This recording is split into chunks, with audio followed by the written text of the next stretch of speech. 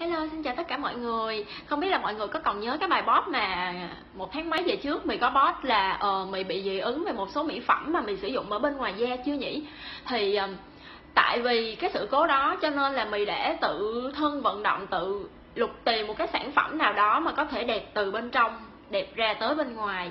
Thì mấy thấy mì biết được một cái sản phẩm đó chính là mầm đậu nành. Đây mầm đậu nành nha. À, mọi người có hay uống sữa đậu nành không ha? Tại vì á mì cũng rất là thích uống sữa đậu nành. Nhưng mà, cái mầm đậu nành này á, nó không có giống như sữa đậu nành mình uống. Nó là gồm 100% mầm đậu nành nguyên chất được bổ sung thêm collagen giúp tăng gấp 5 lần hiệu quả lận đó mọi người. Thì á, ngoại trừ cái việc vừa làm cho da đẹp, làm cho tóc đẹp, mà nó còn tập cân bằng nội tiết tố nữ, giảm triệu chứng, tiền mãn kinh. Rồi thêm một cái điều mà chị em mình rất là thích, đó chính là tăng size vòng một nha uh, đẹp da ngủ ngon tăng cường sức khỏe và độ đàn hồi của da.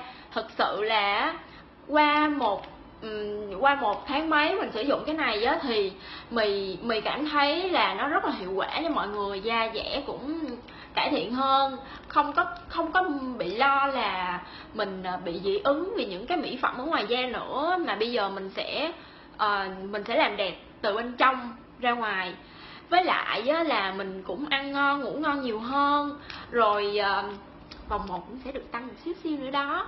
À, thì review của mình tới đây thôi. Mình cũng mong là mọi người à, nếu như mà ai đang tìm một cái sản phẩm mà mong muốn à, mình có thể đẹp từ trong ra ngoài giống như mình thì mình có thể tham khảo thử mảnh đậu nành nha. Cảm ơn mọi người. Chúc mọi người có một buổi tối vui vẻ. Bye bye.